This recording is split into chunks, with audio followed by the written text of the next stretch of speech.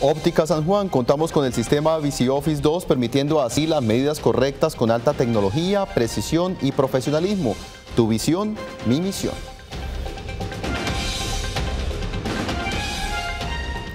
Una de la tarde, 18 minutos, ya veíamos cómo se adelantará este protocolo en el departamento de Santander, pero también hay información sobre este tema en la capital del norte de Santander y por eso establecemos contacto a esta hora con Isaac Meneses. Isaac, buenas tardes.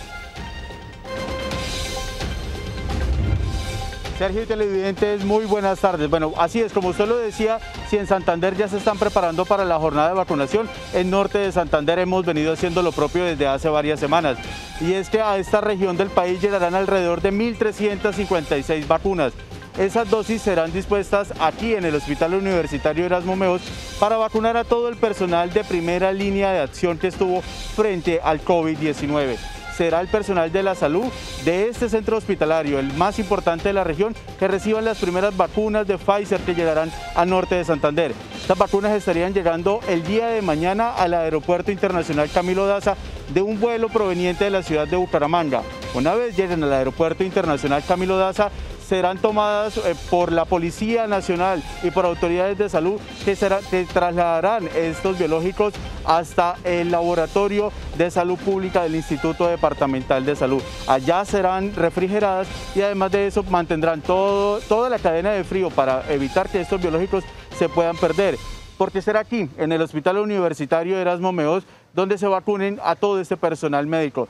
Son alrededor de 1.400 personas que el Hospital Universitario Erasmo Meos ha manifestado que deberán recibir esas vacunas.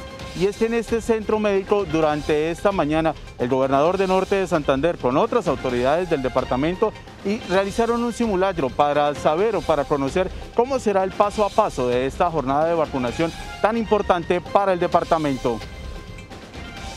El proceso de inmunización en la región estará acompañado del Ministerio de Defensa y de Salud, quienes brindarán garantías en el proceso de vacunación, el cual se llevará a cabo dentro del Hospital Universitario Erasmo Meos. Tenemos la presencia del señor Ministro de Salud y del señor Ministro de Defensa que nos acompañarán en representación del Gobierno Nacional.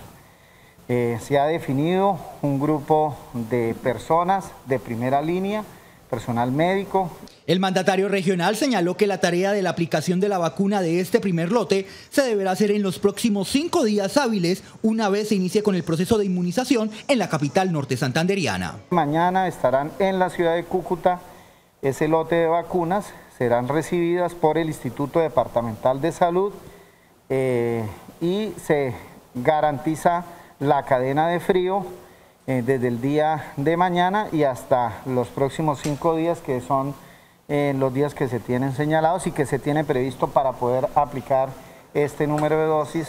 Asimismo, en los próximos días llegará un ultracongelador al Instituto Departamental de Salud con el cual se garantizará la cadena de frío para las vacunas que llegarán al departamento. Que estamos a la espera el día de mañana o el día viernes llegue un ultracongelador que será entregado en comodato mientras el Ministerio de Salud termina de hacer el proceso de adquisición y compra para el ultracongelador que le será entregada a la ciudad de Cúcuta.